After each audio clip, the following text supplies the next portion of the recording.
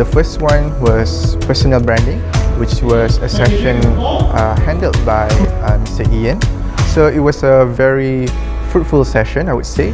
Uh, we basically learned about how to brand ourselves, how to make ourselves stand out among the other participants or other crowds, uh, particularly uh, when you're applying for a job.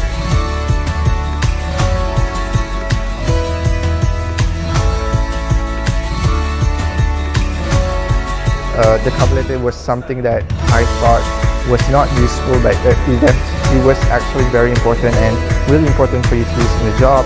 Then he went through the basics, how to make your LinkedIn profile, and last but not least was how to make your resume stand out from the others, which was to make a video resume.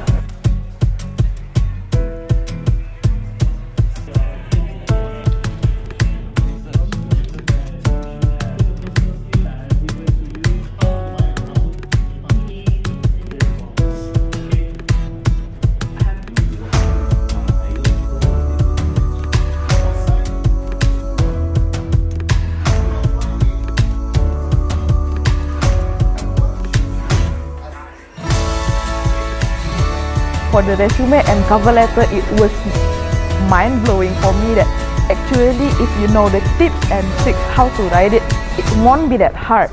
And also for the grooming session, I finally know how to fit my blazer, how to fit my skirt, how to properly dress up for interview so that you always look professional. So I feel really grateful that I have the opportunity to join this event.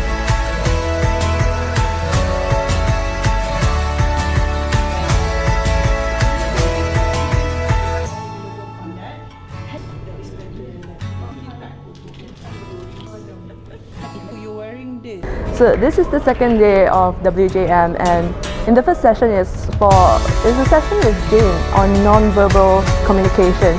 So what it's, it's a session of letting you know what are the subtle signals you are telling others without you knowing. Preparing for the interview itself is quite different from the actual interview, so that's where the mock interview comes in to help you prepare better for an actual interview it, allows you to practice on your non-verbal communication, your elevator pitch, um, what to say, what not to say, and most importantly, build your confidence in your interviewing skills, and hence preparing you for the job market.